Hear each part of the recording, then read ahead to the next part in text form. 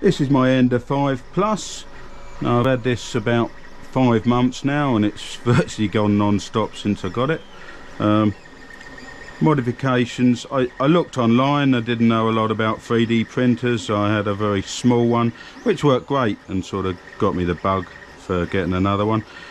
So the modifications, I changed the piping, I put a metal extruder on it and I put some rubbers in under the adjustment to replace the screws.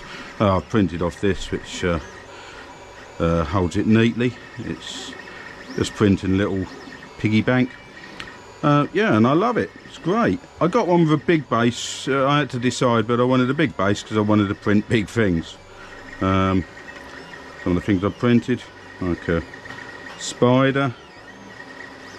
It's quite good. Wasp.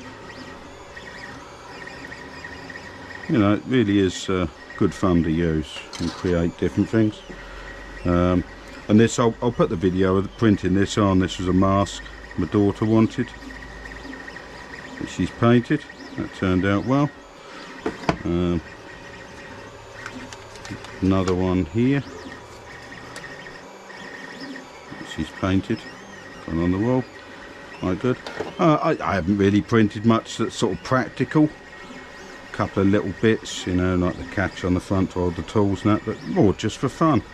Um, anyone who knows Destiny, this is a Destiny Ghost, which I printed. Lights up. Magnetic connections. And stand for it. And different, I mean, I've printed loads of things as a holder for me uh, nozzles anyway I shall uh, I shall put the uh, print on of the mask uh, it's uh, time lapse and then I shall come back with my uh, full written review